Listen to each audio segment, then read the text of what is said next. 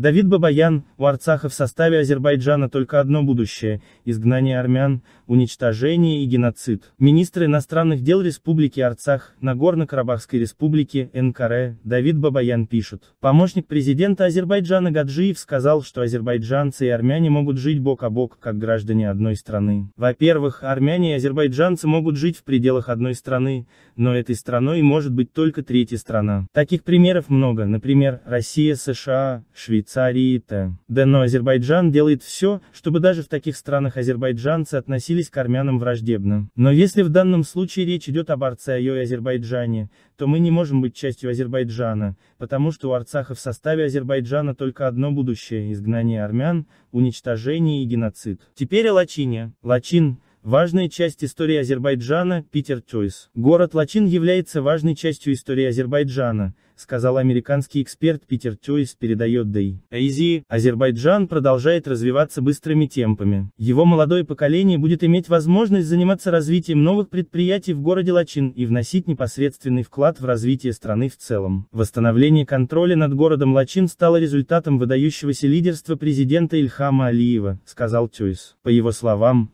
Лачин – впечатляющее место с богатой историей. Факт возвращения Азербайджаном контроля над городом будет способствовать укреплению мира на Кавказе и предоставит большие возможности для развития бизнеса в этой части Азербайджана. Восстановление контроля над городом Лачин и селами Забух и Сус – историческое событие, ставшее возможным благодаря политике президента Ильхама Алиева. Многие иностранные компании проявят интерес к инвестированию в строительство Лачина, сказал американский эксперт.